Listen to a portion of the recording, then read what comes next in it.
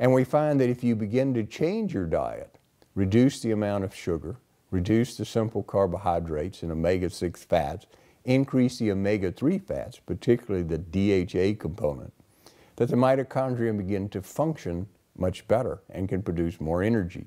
This reduces the damaging effect of this excitotoxicity and of the inflammation. So proper feeding of the brain is very important. The next thing that we've learned is that this excitotoxic process can also be changed by our diet. If you're eating a diet that contains a lot of excitotoxin additives, like MSG, aspartame, and uh, various other food additives that are known to be excitotoxic, it increases this excitotoxic damage to your brain and makes you much more vulnerable to damage by these excitotoxins and free radicals. We also know that even simple short-term exposure to these excitotoxins can produce inflammation and free radical generation in the brain that can last for very long periods of time, even decades. Most American diets contain a lot of these excitotoxin additives. They can appear as hydrolyzed vegetable protein, soy extract, soy isolate proteins, uh, carrageenan. So it's disguised in many, many names, and we're consuming tons of this every year. So one way to reduce excitotoxicity is to increase our intake of particular nutrients and follow a good diet. Now, the nutrients that are known to reduce excitotoxicity include DHA, pyruvate, mixed B vitamins, CoQ10, alpha-lipoic acid, transferulic acid, transresveratrol, and many of the mitochondrial stimulants, uh, such as vitamin K. Now, we've also learned that when you do increase the mitochondrial uh, ability to produce more energy, that reduces excitotoxicity. Uh, what increases the ability of these mitochondria to produce energy includes riboflavin 5-phosphate, uh, pyridoxal 5-phosphate, vitamin K, thiamine, nicotinic acid, pyruvic acid, L-carnitine, coenzyme Q10, and alpha-lipoic acid. So you get a dual effect of reducing the excitotoxicity and increasing and protecting your mitochondria. And the increase in the mitochondria's ability to produce energy can be quite substantial. We also know that one of the problems with aging is inflammation. As we grow older, our brains and our bodies become progressively more inflamed. By the time we reach age 75, that inflammation can become quite significant. Inflammation increases free radical generation in the brain.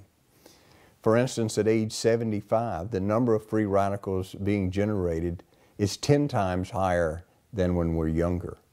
And the free radicals in our mitochondrion is 15-fold higher than when we're younger. So we see that this can have a profound influence. And as I said, the thing that we know that increases brain inflammation is a high intake of the omega-6 fats. This includes corn oil, safflower oil, sunflower oil, peanut oil, soybean oil, and even canola oil. These oils have been shown to not only increase brain inflammation, but increase the risk of such diseases as Alzheimer's and Parkinson's disease.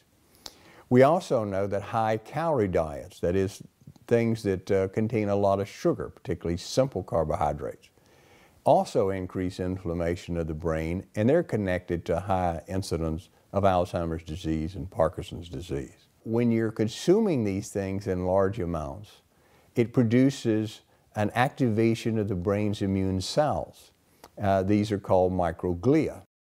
We're now discovering that many of the neurological diseases, even multiple sclerosis, strokes, head trauma, are all related to activation of these microglia. So if you're eating a diet that contains these bad foods, you're increasing microglial activity, free radical degeneration of the brain, and you're setting yourself up for a high risk of developing one of these terrible neurodegenerative disorders.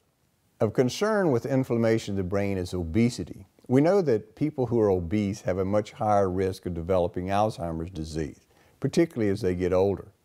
And that's because the fat cells and the lymphocytes and the macrophages in the fat cells inside of our abdomen, what's called intra-abdominal fat, produces a very high level of pro-inflammatory cytokines.